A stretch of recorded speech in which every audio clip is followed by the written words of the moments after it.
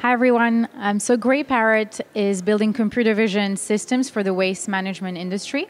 So what we do is that we use deep learning to be able to recognize different types of materials like aluminiums, plastics, paper, different objects, to be able to monitor waste and um, help with the sorting of waste. Um, and our goal is really to create more efficiency and transparency um, in the waste management industry to lower the cost and also extract more value of those materials that go through the waste stream. Is it a challenge because you have to, you know, you have so much throughput? Like, how many frames of each object are you getting before you have to determine this is trash, this is landfill?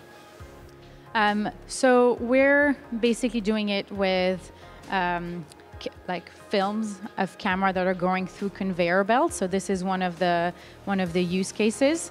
So for example, you'll have like a plastic stream, for example, going through, um, and then you'll will be able to identify all the different um, impurities that are in there. Because for it to be recycled, you need about 99.9% of purity for it to be sold, and that determines the price as well. So we basically use uh, um, that film, and we need about three images for each um, for each of the items to be able to recognize it at, with a high accuracy level. What is your biggest challenge getting these cameras adopted or your technology adopted with waste management companies? So waste management environments are uh, pretty dangerous. They're usually quite secretive, not very transparent because uh, you know, it's not somebody that everybody wants to share, and then people need to report their numbers. So it's really getting into those facilities um, and capturing data and collaborating with the, the people on the ground in, in quite dangerous environments.